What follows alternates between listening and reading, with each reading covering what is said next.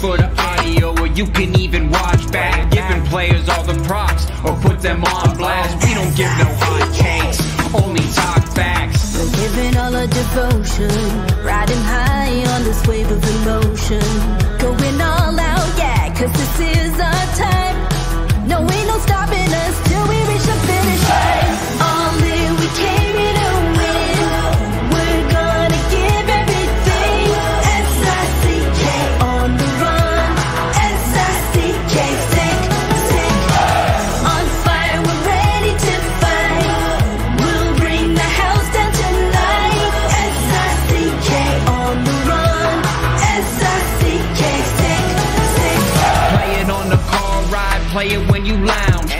professional, you know that we can hold it down. Shout out to my man Sammy, got it off the ground. And to all the listeners tuned in right now, got debates, analysis, and speculation. This is sports talk for the new generation. You know where to find us, got a reputation. Sick podcast, your number one sports destination. We're giving all our devotion, riding high on this wave of emotion, going all out. Cause this is the time. No, ain't no stopping us.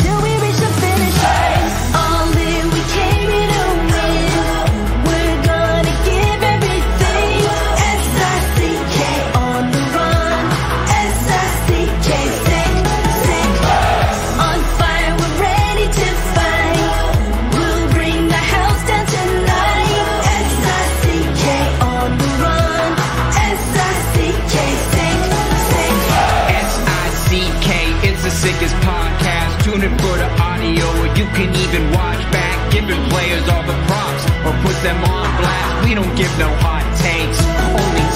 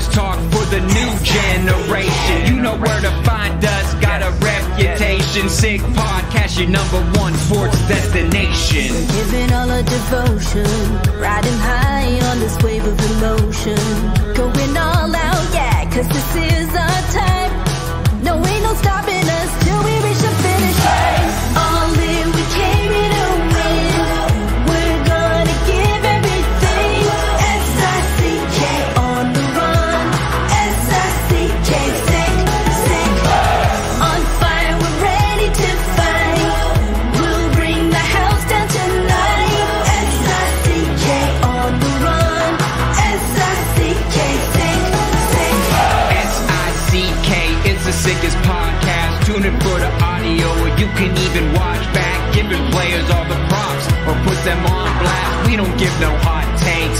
Only time flag. S I C K. S I C K. S I C K. S I C K. S I C K. S I C K. Turn up your volume. Your volume. Because you're about to listen to the Sick Podcast. Sick Podcast with Tony Marinaro. 55 seconds left in the penalty. A minute and 27 seconds left in regulation time. Boston four, Montreal three. Lafleur coming out rather gingerly on the right side. He gives it into Lemaire back to Lafleur. Oh! The sickest Montreal Canadiens podcast. You're in the spa! Sports entertainment like no other. Rejoint, on lui fait perdre la rondelle une passe devant.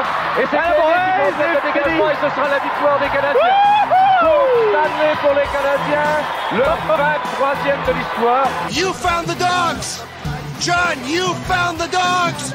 He found the dogs! And all together, they worked a young team to the top. And now, a 24th Stanley Cup banner will hang from the rafters of the famous Forum in Montreal. The Canadians win the Stanley Cup. Brought to you by Energy Transportation Group. Driven to be different. La TV. Embrace your true nature. And La Cage. If the last time you went to La Cage was when the Habs won the Cup, it's time you went back to La Cage. It's gonna be sick. Marinaro on this Monday night. It is March 6th. It is uh, six minutes. No, six minutes. It is one minute. What am I saying six minutes? Because it's March 6th. I got confused and I said it's six minutes. Oh, man. It's going to be one of those shows tonight. It is one minute past uh, 10 p.m. Eastern.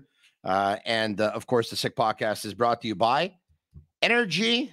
Look at that. Energy Transportation Group, a leading full service logistics provider serving all of North America.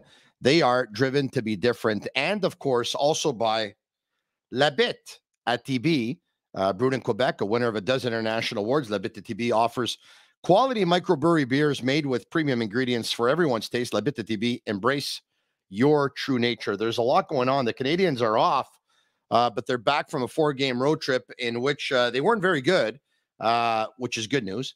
And uh, they go on a, uh, a, four game homestand. Now, mind you, it's uh, it's not going to be easy because the Canadians are going to play on Tuesday. They're going to play um, Carolina.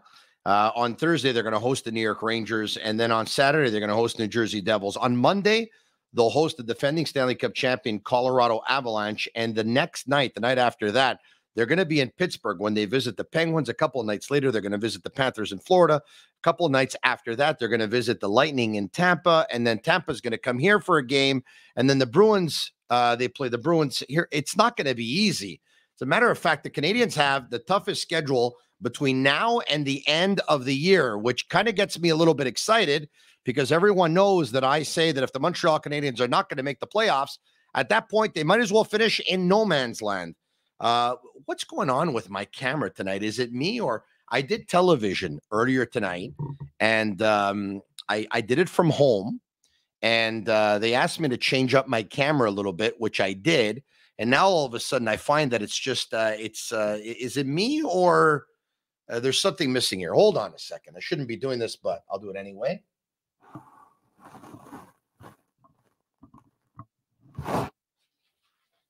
All right. Is that better? I think that's better. Why is it? I just uh, there's something wrong here.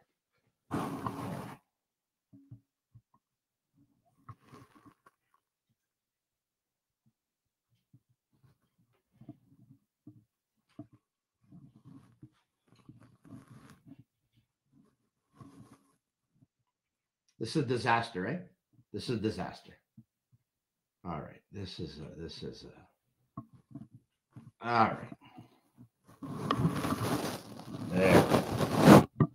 Okay, that's a lot better. Now, that was a disaster. I know I shouldn't have done that, but I, you know, if I'm going to do the entire show and it's going to drive me crazy because I, I can't get the, the the angle that I want, uh, it's going to drive me. Sammy says there's nothing wrong. Okay, tells me that in the chat. Thank you, Sammy. But I, I don't know. In my head, there was something wrong. But I should have listened to you, Sammy, because you're the best. All right. Uh, Eric Engels is usually a regular contributor on Monday nights, but uh, Eric is actually probably in a plane right about now. So, uh, Stu Cowan from the Montreal Gazette and hockeyinsideout.com is going to join us. There he is. I would have liked to have had Pat Hickey, uh, formerly from the Montreal Gazette, join us also tonight, but unfortunately he couldn't because he had a commitment. But I woke up this morning to like such amazing news on social media. Stu, how are you? I'm good. Yourself? Very, very good. It was a couple of weeks ago that you and Pat joined me on the program because we heard that the Gazette was going through some budget cuts, and um, and what a move Pat made. Seventy eight years old, but still for a love for the game, a love for writing, a love for journalism, a love for his job, and he said that. Uh, you were on a Zoom call, probably give or take about 25 or 30 of you, if memory serves me well. Mm-hmm. And they were talking about budget cuts. And as that Zoom call was going on, Pat was just thinking about there has to be some young journalist, probably with the Gazette, that was probably going to end up losing their job over this. A young journalist who probably was was about to start their career or early on in their career, probably with a, a mortgage to pay on a home or something like that. And Pat felt kind of like the right thing to do was to step aside. So what did he do? He decided to step aside, take an early retirement. But Stu, we could all tell that he was he was walking away, but he was very, very sad to do so. Uh, but you talked about how good a man Pat is, and Pat just decided to do it. And then this morning, I wake up to news from the hockey news that the hockey news is going to have, I think, 32 sites covering all NHL teams, and they'll have one covering the Montreal Canadiens. And who did they reach out to? They reached out to Pat Hickey, and uh, and uh, Pat accepted, and he's going to be doing it.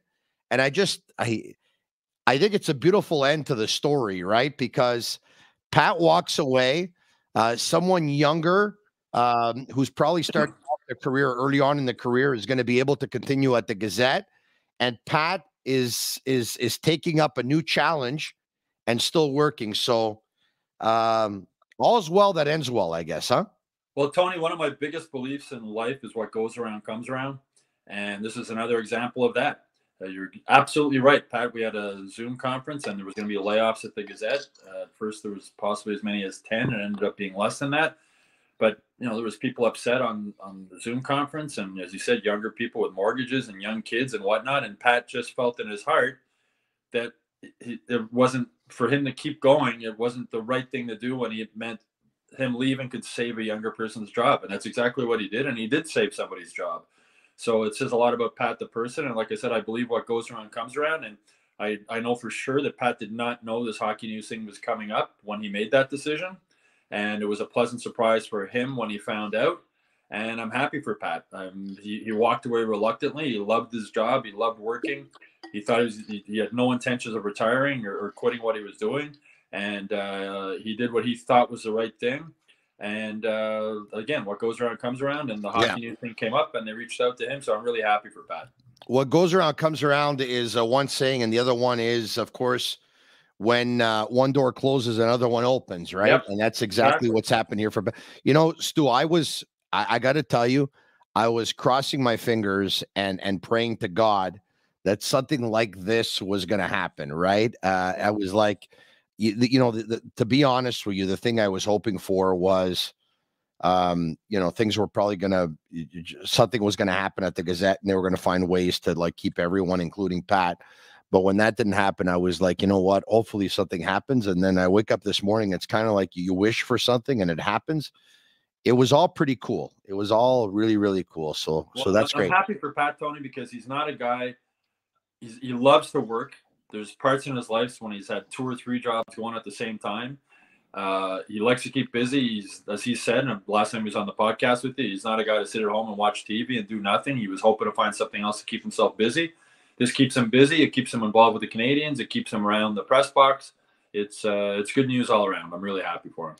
Yeah, I was. Um,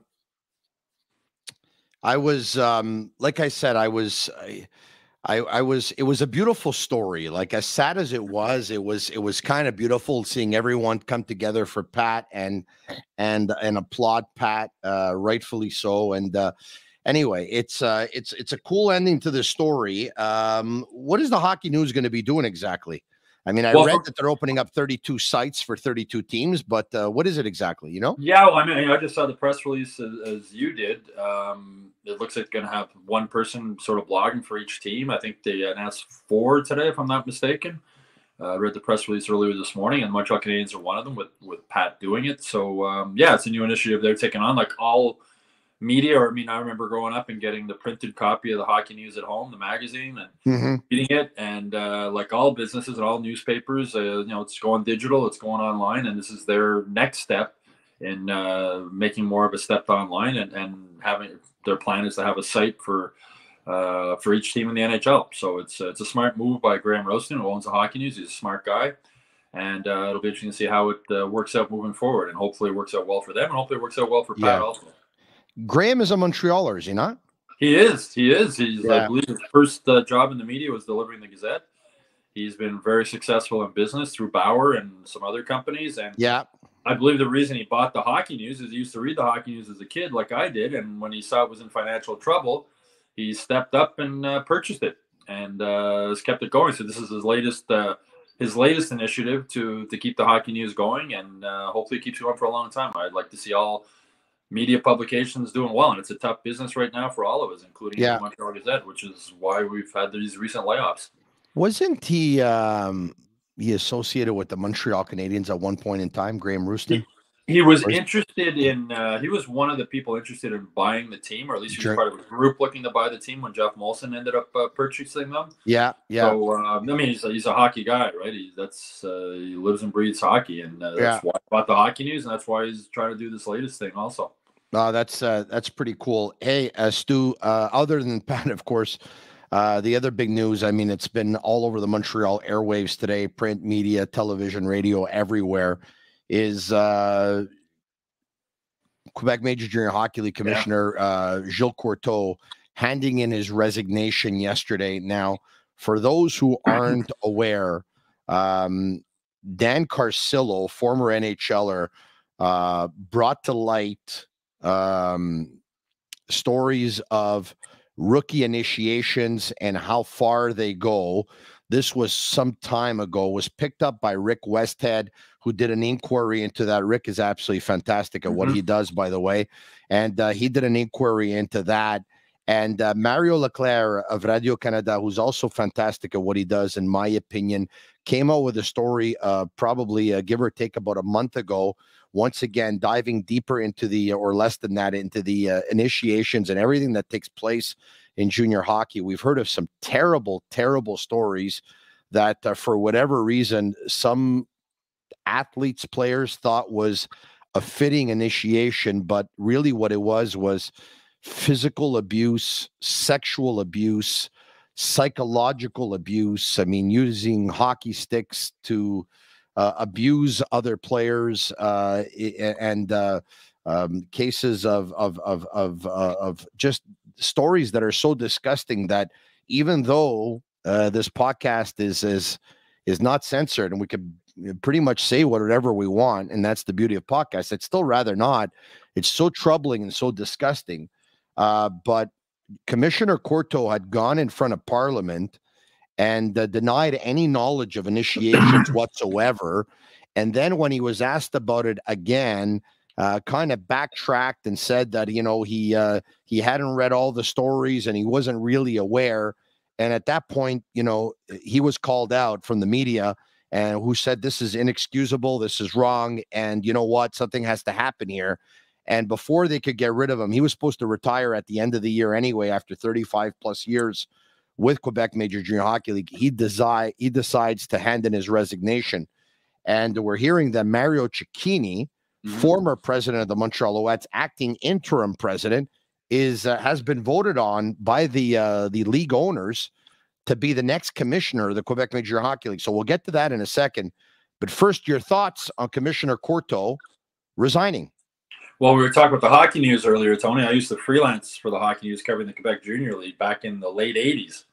And Gilles Courteau was a commissioner back then. He's been around a long, long time. As you mentioned with these initiation things, they are sickening. These are young kids who do dumb, stupid things, but there's adults in the room. There's adult coaches and GMs and commissioners. And to say that they had no clue any of this was going on over a 40 year span or whatever it was that he was commissioner of the league is hard to believe. And if he didn't know, then you have to think, well, maybe he wasn't doing his job as well as he should have been doing it. Uh, it seems to have been somewhat rampant from some of the stories we've been hearing. Uh, that junior hockey culture, and and as I say, these kids are you know, you have a son, you, you just send your kid at 16 years old or 17 years old away to go play in Rimouski or Chicoutimi or somewhere like that, and you're hoping that the parents who are in charge, the coaches, the GMs, the billets, etc., are doing what's best for your kids and taking care of them. And it seems like that wasn't always the case in a lot of these initiation things. And for coaches and GMs and commissioners say they had no idea that stuff like that was going on, I find that hard to believe. Um, but on the bright side, hopefully now that it's coming to light, Gilles Courteau resigning, the head of Hockey Canada resigned yeah. just before all these things came out about the World Junior Championships and whatnot. So now maybe the next time an initiation tries to get started in junior hockey, some of the adults in the room will speak up, uh, like they should have in the past, and for whatever reasons they didn't. Just it, it, it's like it was a sickening part of hockey culture, especially junior hockey culture. We're we're not going to feel sorry for him, so we're going to get to that in just a minute. But it it really is so unfortunate, eh? When you've spent 35 plus years as a commissioner and the commissioner did do some good things. He brought the league to higher heights. There's more uh you know the franchises went from $300000 a franchise to like three four five million dollars a franchise. I mean the the, the, the league grew so much but yeah. what a pity it is like what a pity when a 35 year career ends like that well, I mean, they expanded outside of Quebec, and it goes back to what I was saying earlier, Tony. What goes around comes around, and it's coming around here now. And as you said, he was supposed to retire, so you have to think that for him to step down now, maybe he realized that maybe there's some evidence that he did know that was going to come to light, and I guess that he felt at this point it was just best for him to just sort of step aside and and move on. And for Mario Cecchini, I don't know Mario. I think you do. Tony. I've, I've met him once at the Sports Celebrity Breakfast. Uh, said hello briefly. Uh, but from what he did with the Alouettes and everything I've heard about him, he's a really smart guy. He seems to be a well respected guy. And this seems like a good decision for the Quebec Junior League. It seems like uh, unfortunate thing for the Alouettes. I mean, he had already basically been fired and then brought back to, to sort of put the, the, the team back on track. And now looks like he's gone again. So uh, you know, it looks like I mean new ownership with the Alouettes uh, potentially. Uh, be interesting to see who they hire as their next president, but it's not an easy job, and uh, it seems like good news for the Quebec Junior League and bad news for the Alouettes. So, look, I'm going to say this. Uh, I, I do know Mario Cecchini. I don't know him overly well. Uh, you know, I've had a chance to meet him on a couple of occasions. Um, Mario's very, very bright. Mario's a stand-up guy. Mario has a lot of integrity. I thought Mario did a great job for the Alouettes. Uh, Mario's got a media background. He's got a, a, background of managing people. He's got a background of uh, dealing with the business community. Um, he's got a background of uh, you know meeting with CEOs, owners, VPs of of big companies and organizations. Uh, obviously, he's got a sporting background. He worked in sports. Um, having said that, I'm surprised they went in that direction. Not that he's not going to do a good job. I'm sure he will. Mario will do a good job at anything he does. I'm surprised that this time around they didn't go with a player, a former player uh, who came out of the Q. Um, but Tony, maybe they wanted somebody to come in from outside the hockey community, from outside the culture that has created this hazing type of thing.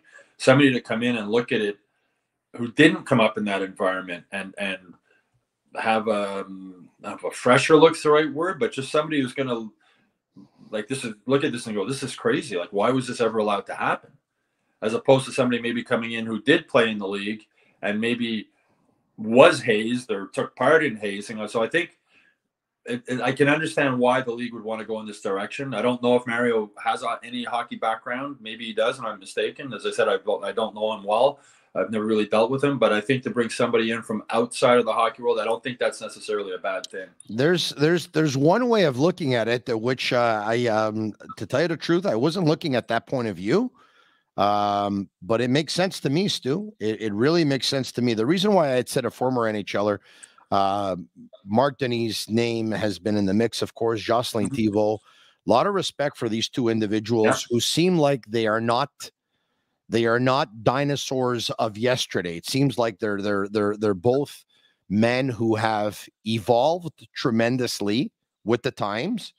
And that's why I thought that even though being former players that they probably would have seen that culture before, they've evolved so much and I thought that they would have made necessary changes. But well, well I do know Marc a bit, and he's a re- I don't know Jocelyn Thibault, but I know Marc, and he's a really smart, bright, intelligent guy. Um, I don't know if he'd want that position. Maybe he's happy what he's doing uh, with RDS with the Canadians. Um, but again, I think it's a lot of hockey is an old boys club too, right? Guys take care of each other. You know, a GM gets fired, his buddy who's a GM of another team finds yeah. a job for him, and it's sort of hush hush, wink wink, maybe to some of this stuff, which is maybe why this hazing was allowed to go on for so long without coming to light. Um, but I said Marc Denis to me. I mean, if they'd hired Marc Denis as commissioner of the Quebec Junior Hockey, like I would have had no problem with that. Uh, but again, I just it, I understand why they might have wanted to look outside the hockey world to bring somebody in. Uh, a shout out to Playground, who has over 600 machines, poker tournaments, and uh, Playground casino games, daily promotions, unmatched customer service. Why go anywhere else? They're located just over the Mercier Bridge, only minutes from downtown Montreal. All right. Um, one of the things that's being talked about uh, right now is um, abolishing fighting in major in in junior hockey. Um, a lot of people have spoken out about it. I was pleasantly surprised. Uh, pleasantly surprised. I was a little bit surprised uh, that Patrick Roy spoke out uh, to abolish fighting in hockey because Patrick is, you know, hockey is one of those uh, one of those things that's been in the game forever, right? And you'll find that you'll talk to a lot of hockey players and a lot of former hockey players who will tell you, well, it's always been part of the game, right? Patrick, speaking of evolving, clearly Patrick has evolved. Now, as great a player as Patrick was, uh, he was involved in a couple of fights back in his heyday, mm-hmm. especially in the rivalries between the rivalry between the Colorado Avalanche and the Detroit Red Wings. When I think he fought Osgood once, he fought Vernon once, and uh, his son was involved in a couple of really nasty fights in junior hockey. Patrick Roy came out and said, Enough is enough. This has to stop. It has to end. Stu, I've said this before. I'm going to say it again. As a teenager, I loved hockey fights. Like, mm-hmm. I'm not going to lie to anybody, right? I, I used to wear my Chris Nilan jersey, uh, have my uh, VHS remote in my hand. And the second that Chris Nilan would jump on the ice or John Kordic would, would get on the ice or Mario Roberge or Todd Ewen or Lyle Odelein or Shayne Corson or anyone who really, uh, Mario Roberge who could drop the gloves with the Canadians, I would hit the record button. If they wouldn't get into a fight on that shift, I'd stop, I'd rewind, I'd go back to the beginning of the tape, and their next shift, I would hit it again. And next thing you know, within a year or two, I put together a, a six hour VHS tape uh, of, of hockey fights. And uh, I used to watch them over and over and over again. That was then, Stu. Yeah. Then Steve Montador, um, who fought a lot.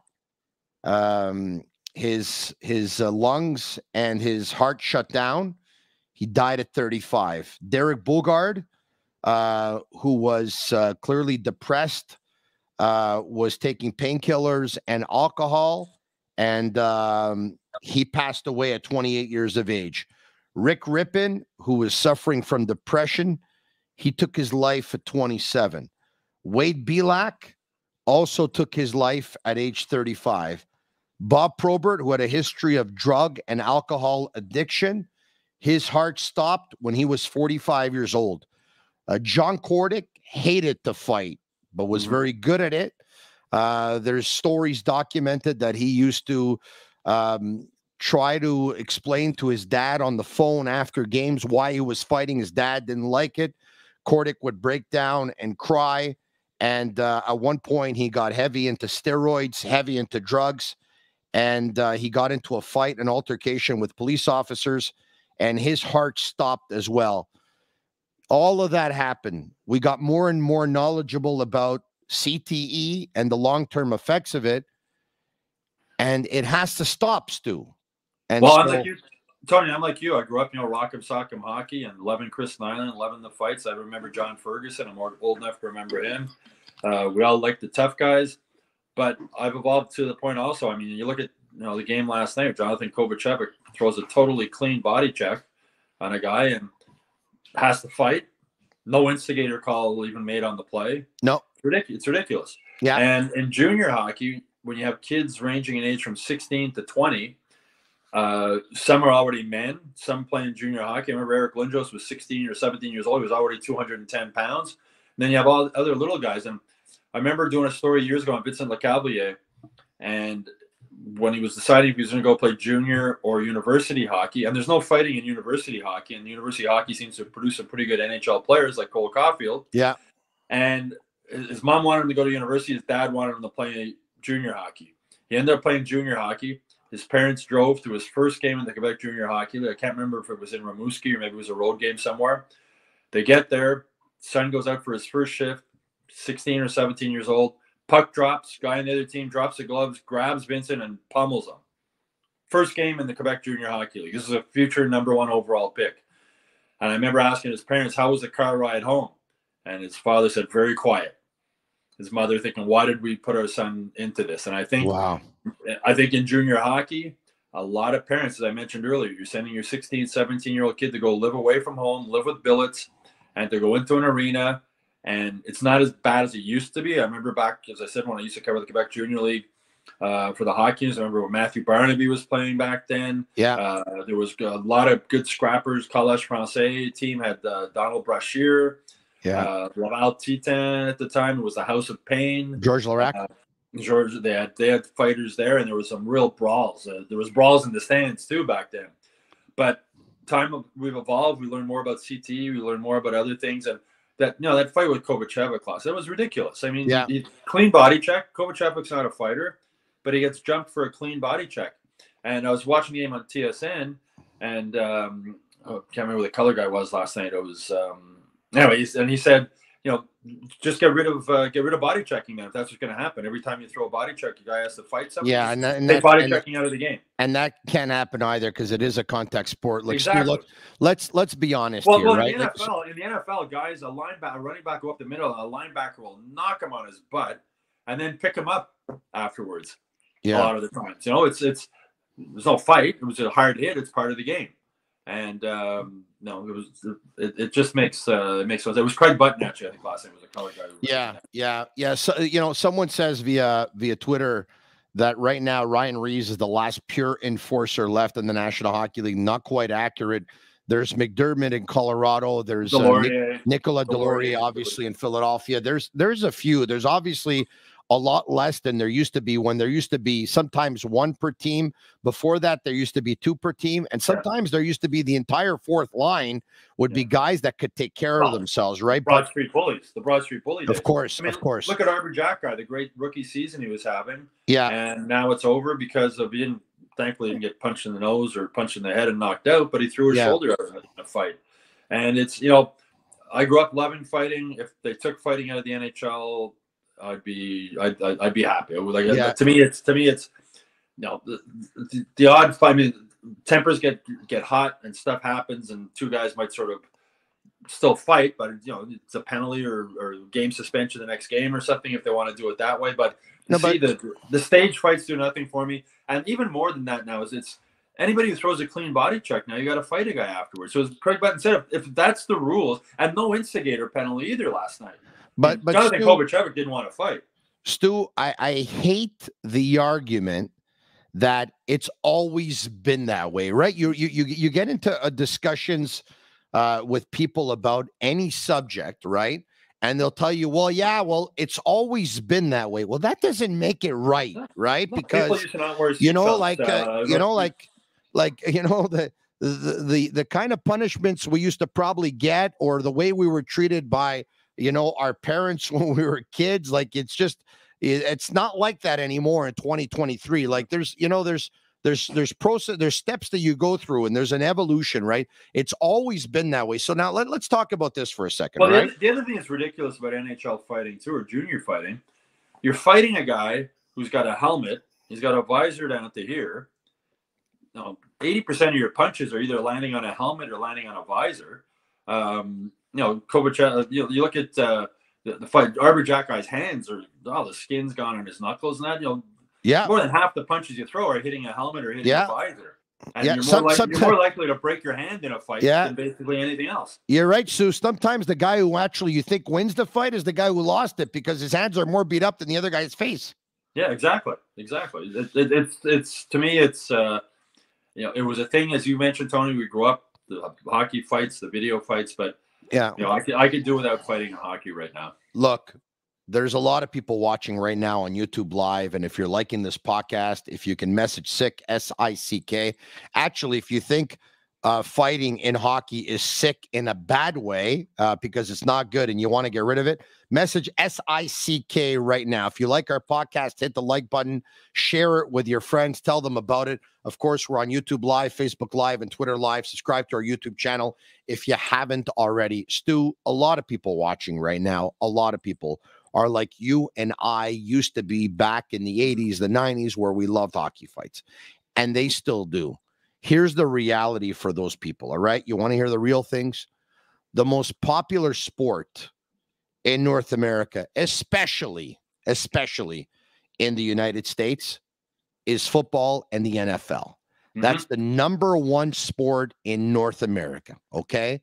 Basketball is an extremely popular sport in the United States. Baseball is an extremely popular sport in the United States. Uh, the two of them that are really probably more important right now, or, or you know, bigger right now than the rest, are football and basketball. I would say has really been coming on with the young generation. All right. I mean, in football, football is a contact sport. Do they rip off their helmets and start throwing punches at each other? No, so No. said they, they're more likely to pick the guy up after you knock him on his butt with a hard hit. But it's it's the number one sport, right? So what? Mhm. wh- why does hockey? Why does hockey need fighting? Can somebody explain? And, and and Stu, this whole a hockey fight can change the momentum of a game. It's funny, okay? And I'm going to tell you why, and I'll give you an opportunity to respond to this. When a team is trailing, and there's a hockey fight that goes their way, that a player wins the fight, the team comes back and wins. Everyone will say it changed the momentum of the game. When the team doesn't come back, nobody says nothing. Come on, it's really so stupid. I mean, one of the I think the main reason the NHL keeps it in is because they think it's they, it's a way to market it to people who aren't necessarily hockey fans. You know, in places in the states, uh, you go to a hockey game. Uh, you know, sort of what was it, the old joke? I went to the fights and a hockey game broke out. Um, I think that's the only thing that sort of makes sense for the NHL keeping it in there is that they think they need that to sell the game, and I really don't think they do. I mean, if you want to watch two guys beat the crap out of each other, Yeah. watch UFC. You know, you And it, Stu, it really, it- you know, I have a lot of respect for everyone who's involved in the game, especially who, you know, and I like it- who do what we do. Uh, media, whether it's print journalism, it's sports talk radio, it's it's it's sports television, it's play by play, it's color. But I have to tell you, Jack Edwards really gets on my nerves. He really gets on my nerves like big time because um he like the way he describes a fight it's like he's more excited about a fight than he is about you know a three-way passing play between Bergeron, Marchand, and Pastrnak, who ends up firing it into the top corner. Like every time a Boston Bruin is involved in a fight and the other player lands four or five shots on a Bruins player, there's dead silence on television. You're not going to hear nothing. The second the Bruin lands one punch, he makes it sound like it's the biggest, hardest punch ever known to me. He goes crazy, and the fans get into it. It's it's so like 1970s. It's it's disgusting, man. I it's it's I I hate it. I really he's- hate it. He's one of the ultimate homers, and he's obviously old school, and he still likes fighting. And I'm sure there's some old school people out there who like him that still like it that that, that haven't evolved, I guess, or realized the. No, I'm still amazed that nobody's died in a fight yet in the NHL. Um, it's it's less likely now that they can't take off their helmets when they fight, but I still a helmet falls off, and you think it's it's bare knuckle fighting too, and it's it's maybe that's the only thing that would ever make the NHL get rid of it. I don't even know if that would. Um, I don't think the NHL has any interest in taking fighting out of the game. Um, I think they think it's part of something they need to sell the game. And uh, as you Yeah. say, the most popular sport in North America is football, and they beat the crap out of each other. And Yeah. you know, I think there's a pushing, shoving, or and uh, you know, university hockey. We are talking about university hockey and junior hockey. Okay, so you have a son, Tony. I have a son. They're really Yeah. good hockey players. They're 17 years old. You're deciding where they're going to go. Are they going to go play junior hockey? Or are they going to go play university hockey? And like the discussion Lecavalier's parents had, you got to be leaning towards junior hockey. Or sorry, towards university hockey because yeah, partly it's it's a better environment. Uh, there's education involved. It's hard to study and go to school when you're playing 80 games a year and riding buses in junior. But Yeah. you're also not worried that your 17 year old son's going to get the crap beaten out of him by some yeah, tough guy on the other team. No, it's not going to happen. So that, yeah. that, No, that factors into it. And that would factor into my decision if my son was going to go play hockey, whether he was going to play junior or whether he was going to go to uh, uh, go to university. Well, it's funny because uh, what was it about a month ago? You did a story on Michael Matheson, uh, whose uh, whose parents, uh, of course, are, are here in Montreal. He grew up on the West Island in Pointe-Claire. Uh, he went to John Rennie, was in the Sport-Études program. I talked about the fact that I had a chance to interview him probably when he was about uh, 15 years old or whatever it was. But when he was 17 years old or 16 years old, he actually left to play in the USHL with Dubuque. And then after that, he went to Boston College for three years, right? As a 17 Yeah. and uh, 18 and 19 year old, he went to Boston College. Uh, Stu, he played 36 games one season, 38 games another season, 38 games another season. Uh, he was able to, to obviously get his education. A very, very smart young man. He was able to, uh, very educated. Uh, Well, well you know, 38 games, not a lot. You're able to get in your homework and yeah. Tony, I, I, I- I had this discussion with his dad a couple Yeah. of years ago, but before he was with the Canadiens, he was still with I think he was still with Florida at the time. And uh, a good buddy of mine is uh, is good friends with Matheson's dad, and I've got to know Matheson's dad that way. And I was asking him, you know, how tough it was a decision to go to junior or go to university. And Mike would have been a top number one or number two pick in the Quebec Junior League. Yeah. was being heavily recruited by the colleges. So his dad, they left it up to him to make the decision but they wanted him to weigh all his options. So they visited some schools, they visited some Quebec junior teams, and I can't remember. It was one of the teams I think in the East that had the number one or number two pick that year, and they went to visit them. And Mike was really impressed with the facilities and impressed with the coach and impressed with everything else. And they got home, and his dad pulled out that team's schedule for the next season with all the games, and he said, "Okay, look at that and tell me when you're going to go to the gym." yeah, Look at that schedule. Tell me when you're going to study. Look at that schedule and tell me when you do all the other stuff that, you know. And then Mike went, he said, like the light bulb went off, and he went, Yeah, I'm to have no time to go to the gym and train. yeah, I'm to have no time to study. Um, and that's so, yeah, he played 38 games or whatever, but he was in the gym every day. yeah, He was eating well. He was Yeah. sleeping well. He wasn't getting in a bus at, uh, you know, 11 o'clock at night and riding, you know, with a St. Hubert barbecue chicken or something in front of you and, and riding to the next thing. So the university, excuse me, the, the college route, they play their games usually on the weekend, Friday, Sunday. You practice every day during the week. Excuse me. You practice every day during the week. You go to the gym every day. And I think, you know, going back to Louis LeBlanc, yeah, I remember when Louis LeBlanc went to Harvard, yeah, and that summer they had that sports celebrity breakfast that you and I go to. Uh, yeah, yeah, And yeah, Louis was there, and I saw him, and I couldn't believe how skinny he was. Like he had no muscles on him whatsoever. Great hockey player at the time. yeah, And then when he left Harvard yeah, and he went to play junior, here's a kid who could should, who could have and should have been in the gym five six days a week great instead point. of playing 80 games and riding buses. So, you know, playing 80 games isn't the be all and end all. I mean, if you're a Sidney Crosby or uh, whatever, and you're going to be the number one overall pick, maybe that'll help you, Connor Bedard. But if you're not, if you're a kid, you know, it's Alex Killorn, another West Island boy who went to went to Harvard. I remember his mom telling me when he went to Harvard his first year, he was 6'1 and like 165 pounds or something. And he came back after his second year at Harvard and they had a dug in pool in the backyard. And he came back home and he went in his room. He got changed. He came out with just a bathing suit on. And his mother looked at him and went, Oh my God, is that my son? he had filled out. He was ripped. He had been, you know, been in the gym four or five days a week, played 38 hockey games, but was in the gym probably 150 times or more. Uh, so that's that. You know, you got to factor that all that stuff in. It's not all about just playing games, especially at that age. Yeah. You're young and your body's maturing. It's developing mentally, developing physically, sleeping well, eating well, training well. You know, all these university teams they have strength coaches. A lot of them work out with the football players. They have the same Yeah. gym. They have whatever. It's it's an environment to develop mentally, to develop physically. Yeah. And um, as I said, you know, if my son had played was a hockey player, was going to go had a choice of doing either one of those routes, I would no doubt that I'd be sending him to university. Route. Yeah, I, I personally, I think it's with all due respect to the Q, I think it's a no-brainer. Uh, but uh, I mean, to each his own, right? Because there Mhm. are there are instances where the Q could be better for a player, but I think for the masses, I, I think going uh, the U.S. college route that we talked about is better. But uh, just our opinion, of course.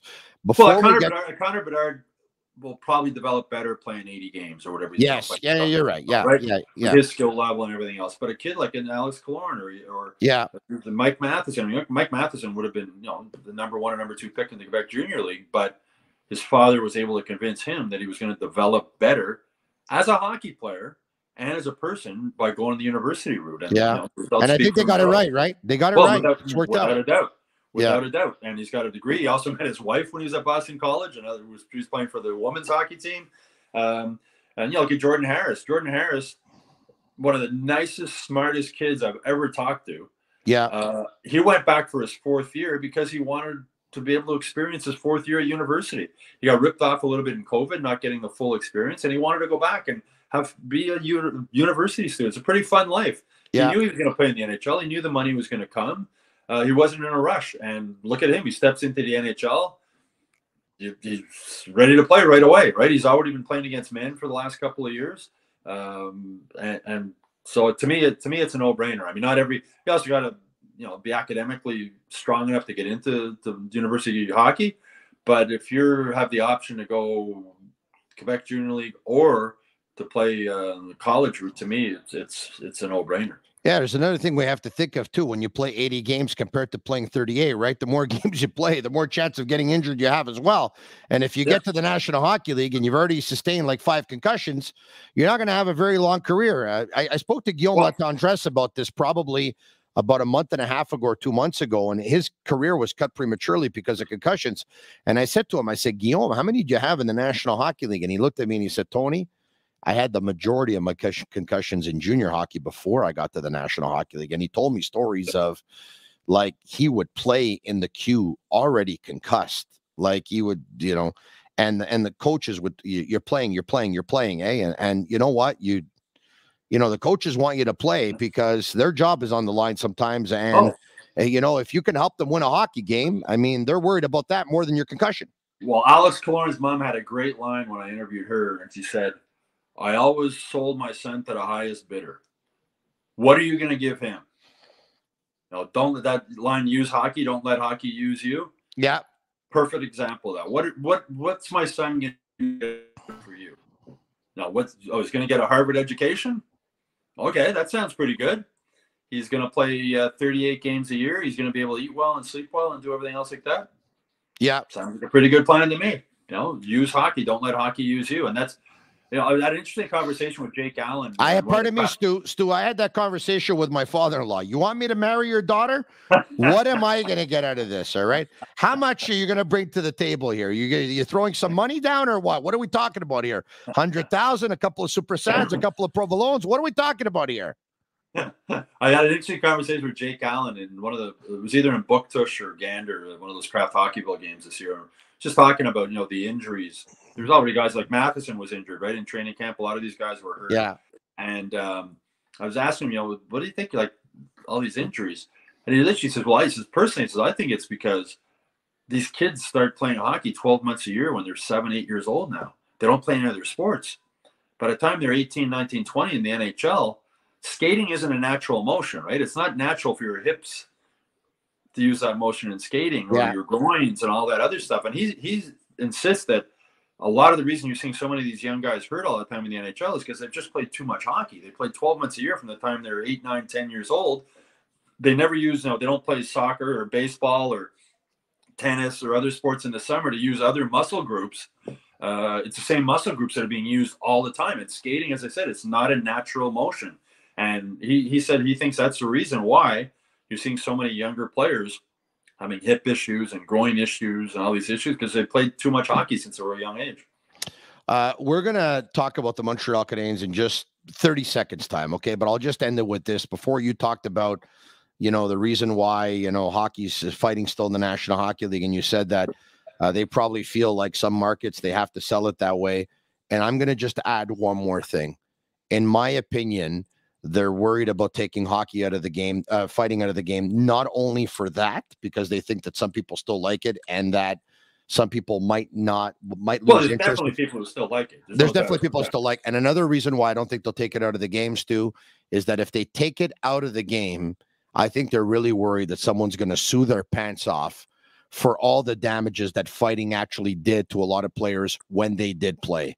And the National Hockey League is scared of another lawsuit regarding fighting, um, the the you know the the concussions and and all the dangers thereof. Okay, let's let's well, Gary Bettman, first and foremost, is a lawyer, right? yeah, And that's why they, they he, he won't even admit that CTE is a, a of factor course not, of course not.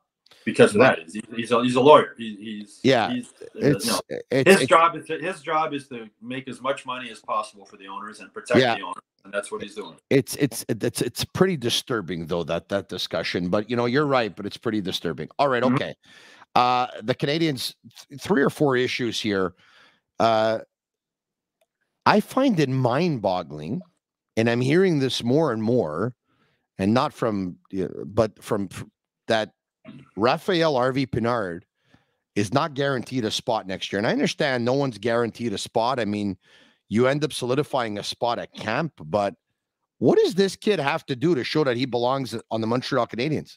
I'd be shocked if he's not with the Canadiens start next season. I, I'd be shocked. Marty Marty St. Louis must see a little bit of himself. And and I asked Marty St. Louis this question after earlier maybe a month or so ago when you You're cutting out, Stu. Did I lose you for a second here or what? What's the story here? I lost you, Stu. Oh, Stu is frozen. Okay, let's uh let's you know try and bring Stu back at some point here right. when we can fix this. Okay, uh Okay. Stu's back. Uh, Matrix Home Fitness. Just a quick shout out to them. Discover a club quality workout in the comfort of your own home. Bring it home, whether it's the treadmill, whether it's the elliptical, whether it's the rower, whether it's an exercise bike. It's matrixhomefitness.ca. And I would imagine a lot of Montreal Canadiens players and National Hockey League players, especially Canadian teams, have a good Matrix uh, uh, home fitness equipment already at their house. Okay, you're back. You were saying? Yeah, so I was talking about Harvey Pinard, and I asked Marty St. Louis, you know, does he remind you of you a little bit? You know, Marty was never drafted, smaller guy, had to prove himself, was put on waivers, not claimed. And he said, he says, look, nobody gives you opportunities. You got to make your opportunities. yeah, or make the most of your opportunities. That's exactly what Harvey Pinard's done. And you know, when he was in Laval, his nickname was Lavaliger, and he plays like Brendan Gallagher. He's like a young, healthy Brendan Gallagher. He goes to the dirty areas, he forechecks, he works his butt off every time he's on the ice, and he can play with good players. I mean, him and Nick Suzuki, they, he can play with Nick Suzuki. They complement each other. He's on the power play. He wins puck battles. Uh, he's hard on the forecheck. He's done. I'd be really surprised if he's not with the Canadiens to start next season. I'd really, really be surprised. The way he's playing right now, uh, you know, he's on pace over a full season. Will be a 42 goal season. Um, we, you know, when Cole Caufield got injured, Marty St. Louis said we need not somebody not only to replace his goals, but to replace his enthusiasm. yeah. Harvey Pinard's done both of those things. The kid is living his dream playing for the Montreal Canadiens. Yeah. And he play he plays like it every single time he's on the ice. He looks like a kid who's living his dream and he's going to do everything he possibly can to keep that dream going. And I'd be really surprised if he's not part of this team to start next season. Eight goals in 19 games. That would be 16 and 38. Uh, that would be 32 and 76. I mean, his numbers Yeah, are it works out. I really, did the math. It works out to get 42 goal pace. it's, you know, which obviously he's not going to get, but who knows? You never say that, but it, just a great season for him. It's awesome. Now, Alex Belzile, I doubt will be on the Montreal Canadiens next year. Like, I don't think so. No. I think he'll be back uh, with the Laval Rocket in the American Hockey League. But I will say this What a great story. Eh? Like he's Oh. he's he's an honest player. he's an honest player and he's a great guy to talk to. You talk about being honest. You know, I was asking him about you know, not being drafted and being so late to get into the NHL, and he says, "Well, I'm not stupid. I knew skating. Like I wasn't a good enough skater, and I just Yeah. kept working on it and working on it and working on it. Like still now, he's still working on it. He knows what his weaknesses were, but he's so. When I watch him, Tony, he's so smart with the puck. You know, he's really smart with the puck. He makes smart dump ins. They're not even like dump ins. It's almost like a pass dump in. He's just he, he's smart in his own end. He just he thinks the game so well. Probably because he's had to compensate from not being a great skater coming up. He had to do other things better. Had to think the game better, be smarter, work a little harder. Um, and he's done all of that. And it, what a really, really, really nice story he's been this year to see a guy come Yeah. up at that age, score his first NHL goal. You look how happy all his teammates were for him.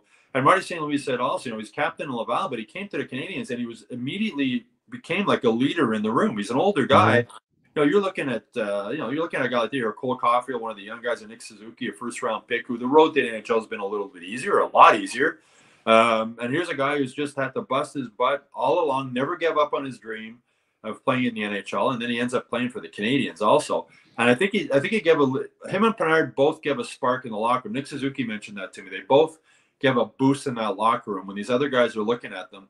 You know, sometimes your first round pick, you're a veteran player, the team's not doing well. You sort of maybe forget how lucky you are to play in the Mhm. NHL, how fortunate you are, what a great opportunity it was, and how you know you should enjoy every day. It's a the career ends quick, right? Guys, when Yeah. it's over, they tell you how quick it went.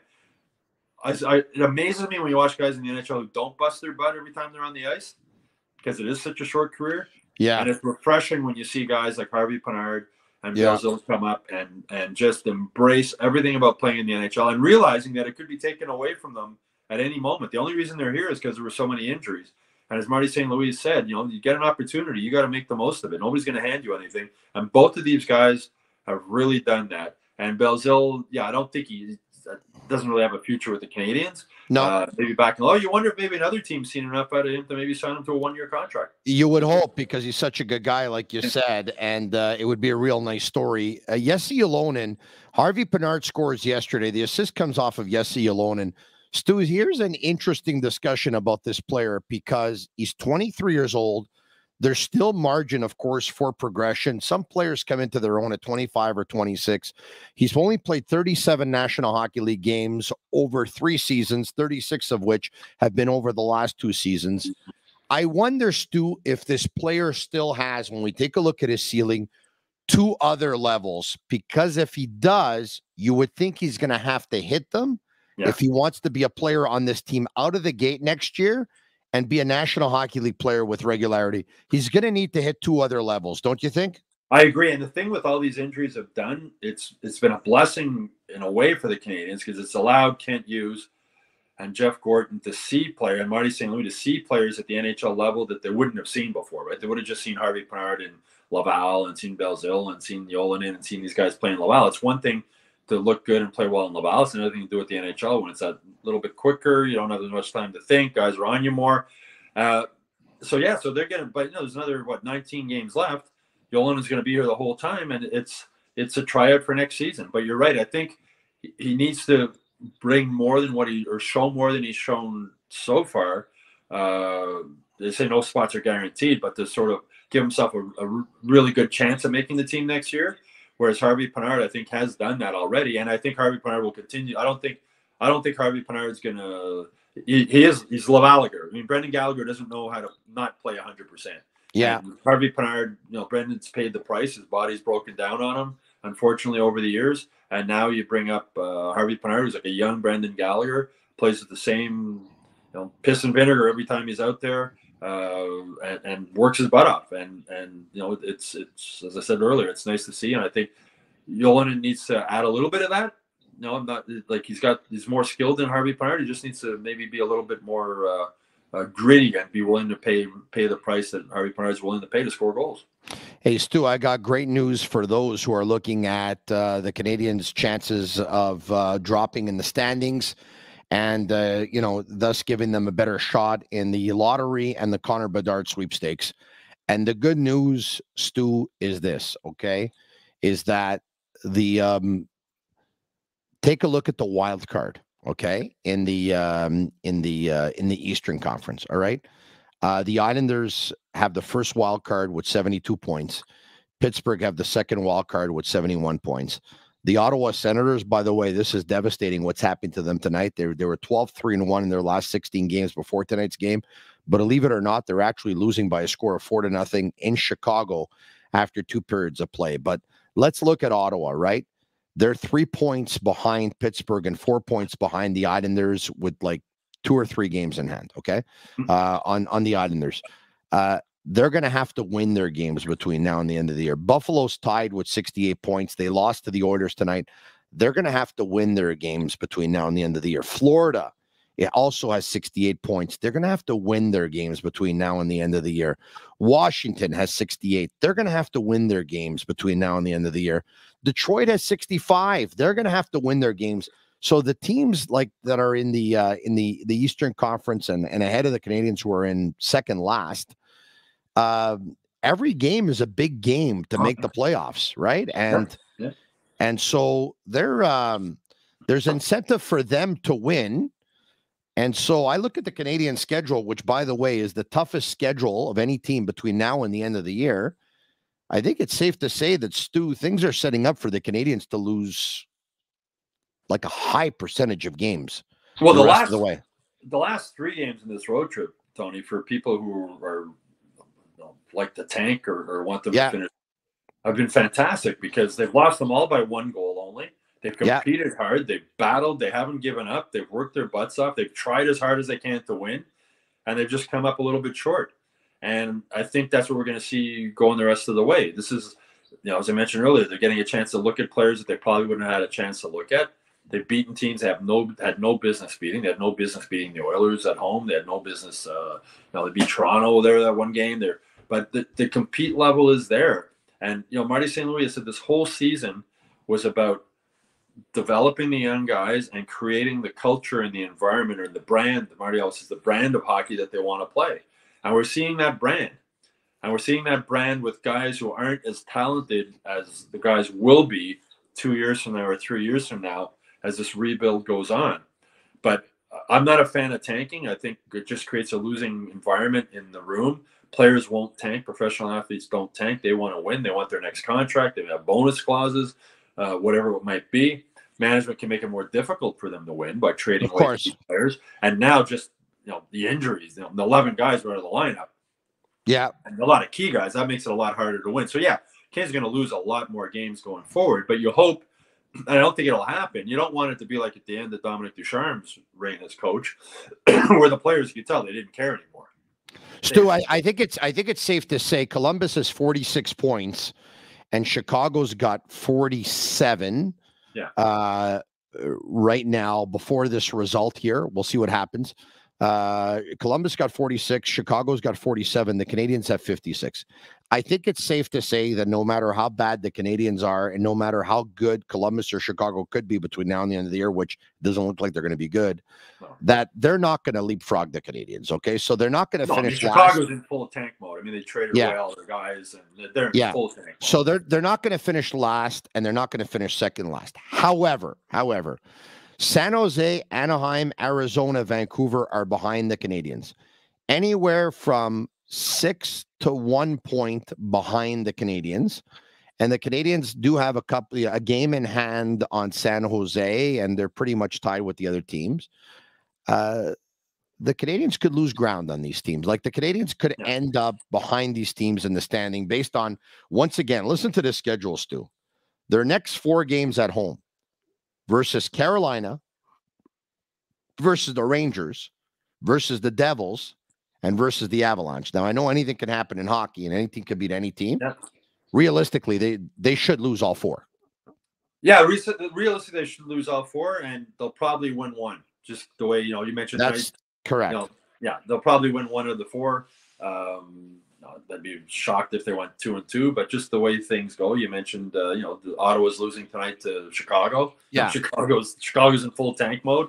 Um, yeah, so yeah, as a at the end of the day, the Canadiens are going to be in the lottery to have a chance at getting Connor Bedard, right? Yeah. It looks like you know what's going on now with Florida. Florida might not make the playoffs. That gives that's going to give them two high picks in this year's draft. Yeah. And so many people seem to forget that it's all focused on Connor Bedard. How many talented players the Canadiens already have from past first round? You know, you got Cole Caufield, you got Nick Suzuki, you got Kirby Dach, you got uh, you know, you go down the list of guys that they have. You know, you know Kaiden Guhle, you got Jordan Harris, you got uh, all these young guys coming up. Uh, um, it's there's a lot of young. They have a lot of young talent in this team. Like it's not like they're in full full tank mode. They got nothing, and you're hoping you have Connor Bedard and nothing else. Like they got to if they don't if they get Connor Bedard. Well, let me great. let me let me let me ask But you if this. they don't get Connor Bedard, they're going to get two more Perfect. first round picks. Filip Mesar at rookie camp this year was impressive as hell. He was much more impressive than I agree with you. He's a player. He's going to be able to play. They got a lot of young guys coming up that are good. So Yeah, it's- and we haven't I'd, even. I'd rather be in the Canadian situation. yeah, and we haven't a even. that has nothing is going to have Connor Bedard, and then okay, well, who's he going to play with? Yeah, and we haven't even talked about Slavkovsky. Right, but um, but let me ask you this though: out of the players that they, all these young players that they have, right? I think it's safe to say they don't have a generational talent. But so let me ask you this though: out of all those players, do you think any one of them is a franchise player? Well, the franchise player. I mean, look at Edmonton. Connor McDavid's the best player in the NHL. They got Leon Draisaitl also. They haven't, you know, they've won I think three playoff series since they got McDavid. I'd rather have five or six. excuse me, really talented first first round pick talent guys than have one number one guy. Oh, so look, I understand your point. Um, my point is just that if they uh, if they um, if uh, they continue to lose more games, and should they, you know, by by all the luck in the world end up having the number one pick, they're still going to have all those players that they still have. Plus, they'll be able to add a franchise player. I mean, that's well, yeah, all. and, and, they're gonna have a chance. I mean, people, it's okay. So you tank. uh, You know, I think it's what eighteen point five percent chance you have if you finish last. Yeah, and you know you have seven percent chance if you finish twenty seventh. I'm just thinking off the top of my head. So Yeah, you still, yeah. you still got a chance. You know, you still got a So, so you know, it's funny because we we talked about the games at home here versus Carolina versus the Rangers versus the Devils versus Colorado. We said realistically they should lose all four, but you said because the National Hockey League is what it is, and any team could beat any team, that they'll probably win one. And then after that, there's the, let's take a look at there's there's a second half of that schedule where they're at Pittsburgh, they're at Florida, they're at Tampa, they come home to play Tampa, and then they go to Boston. Those five games realistically, they should probably lose all of them too. But because the National Hockey League is what it is, they're probably going to end up winning one. So, Mm-hmm. you know, they're probably going to end up winning two of their next nine games here. Watch them end up winning all nine. But well, you know what, Tony? I, I wrote a column recently. I'm trying to remember the numbers off the top of my head, but I think I'm correct here. It's 28 years that they've had the draft lottery now, yeah, and the worst team has won the draft lottery 11 times. Okay, it works out Okay. 39 percent, and it's happened the last two years in a row. okay, The odds of it happening three years in a row are not good if you just go by statistics and numbers. So, like if you were playing the odds and playing the statistics, you would say that the team that finishes last this year is not going to get the number one pick because it's happened the last two years in a row, just playing percentages. Stu. Unless you call my mother because she has a saying and says it all the time. Noche due senza tre. There's no two without three, my mother says. What? chances are you're right, Stu. I think that was a pretty funny joke. So on this note, I think why don't we end it? Right? It's the Canadiens versus the five point man, Jesperi Yeah. Kotkaniemi, who picked up Very five points yesterday. Huh? Five goal points. four assists. Hey, isn't that some, isn't that something? On Saturday night, Jon Cooper uh, benches his three best players, and how do they respond? They lose seven nothing to the Carolina Hurricanes the game after that. So they clearly said to the coach, "You wanted to embarrass us, we're going to embarrass you." Wow. Okay, so on that note, Stu, thank you so much. Over an hour of your time. You know this, Stu. I've told you I'm extremely grateful. Thanks so much. I appreciate it. My Stu. pleasure, Tony. Anytime. All right, there you have it. Stu Cowan of the Montreal Gazette and hockeyinsideout.com. Tell your friends about it. Comment right now If you love this podcast, Sick, S I C K, on YouTube Live, on Facebook Live, on Twitter Live, share it with your friends. And if you listen on Google, Apple, or Spotify, leave us a five star review. That's our way of feeling the love. It's the Canadiens versus the Carolina Hurricanes. Tomorrow night, I'll be back, same time, same place. The Sick Podcast, Monday to Friday at 10 p.m. The hoodie says it all. I'm Marinaro. And that's a wrap. Hope you don't miss us too much until next time. Follow the Sick Podcast with Tony Marinaro on YouTube, Instagram, Facebook, Google Play, and Apple Podcasts. The Sick Podcast is brought to you by Energy Transportation Group, driven to be different. La Vida TV. Embrace your true nature.